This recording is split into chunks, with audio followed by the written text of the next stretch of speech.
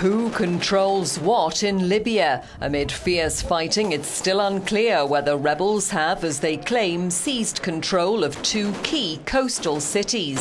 The government denies it's lost Zawiyah west of Tripoli and Zlitan to the east.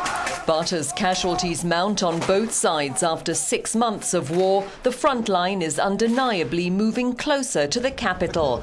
Rebels have seized Zawiyah's oil refinery, which supplied government troops with fuel. Full control of the city would cut Tripoli off from its main link road to the outside world.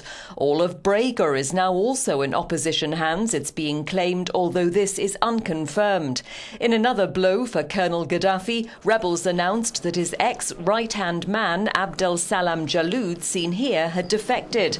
And reports say Libya's oil chief has failed to return from a trip abroad.